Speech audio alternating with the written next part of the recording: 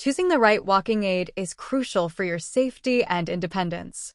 Mihiraa will consider factors like your height, weight, and specific mobility needs. A walker offers more stability but might be less convenient indoors. A cane provides lighter support but requires better balance. We'll assess your strength, endurance, and gait to determine the best option. Proper fitting is essential to prevent discomfort and injuries. As your condition improves, Mihiraa, regular adjustments might be necessary. It's important to practice using the walking aid with supervision to build confidence and develop proper technique.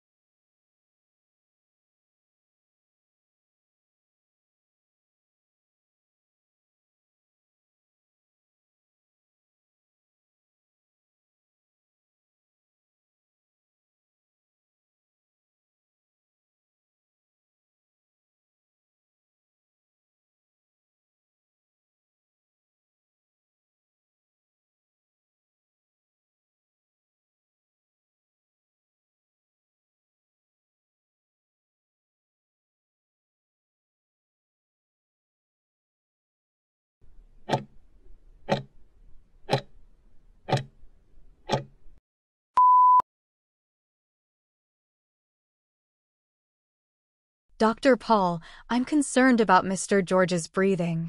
He seems to be having difficulty breathing, and I've noticed a wheezing sound. That's concerning. Can you describe the wheezing sound in more detail, Mihiraa? It's a high-pitched whistling sound, especially during exhalation. It's getting worse over time. Wheezing is often a sign of airway obstruction. It could be due to several factors, such as asthma, bronchitis, or a foreign object in the airway. I've checked his medical history, and he doesn't have a history of asthma or bronchitis. Could it be related to his recent chest x-ray? It's possible. Let's review the chest x-ray and consider other potential causes. We might need to order a pulmonary function test to assess his lung function. I'll inform Mr. George about the need for further testing. I'm concerned about his comfort level. Should we administer oxygen? Let's monitor his oxygen saturation levels, Mihiraa. If they drop below 90%, we can start supplemental oxygen. It's important to keep him comfortable and manage his symptoms until we can determine the underlying cause.